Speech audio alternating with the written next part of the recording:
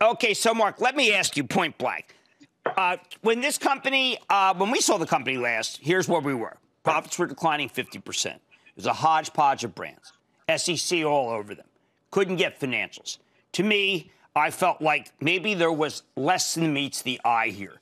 In a very short period of time, you've created what I regard as a whole new company. So tell us how you did it and what you're doing.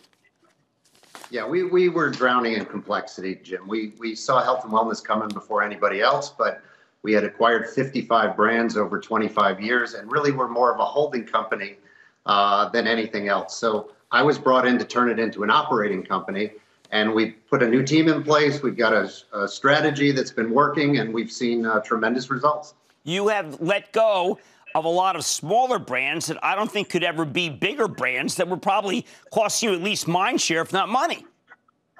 Yeah, having 55 brands, you just can't nurture that money, that many brands, and so we had to make some choices in terms of which ones we were going to grow and which ones were less important to our journey going forward. We shed 17 brands so far that had about $800 million worth of sales, only about $30 million worth of EBITDA. Um, but we're we're getting to be a much more focused, much simpler company, which allows us to really grow the ones with the biggest. At the same time, you still have a lot of international. I mean, for instance, I was trying to figure out who of the companies I follow have Brexit risk, and I, Hain Celestial has Brexit risk.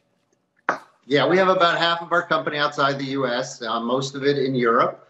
And uh, we have eight number one and number two share brands there. So we have an amazing portfolio of products. Uh, Ella's, Linda McCartney, Meat Free, Hartley's Jams and Jellies. We have a big non dairy beverage business and uh, a lot of opportunity there. And certainly we're watching Brexit closely and we're prepared either way. Don't miss a second of Mad Money. Follow at Jim Cramer on Twitter. Have a question? Tweet Cramer. Hashtag mad tweets. Send Jim an email to madmoney at cnbc.com or give us a call at 1 800 743 CNBC.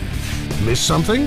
Head to madmoney.cnbc.com. Shepard Smith here. Thanks for watching CNBC on YouTube.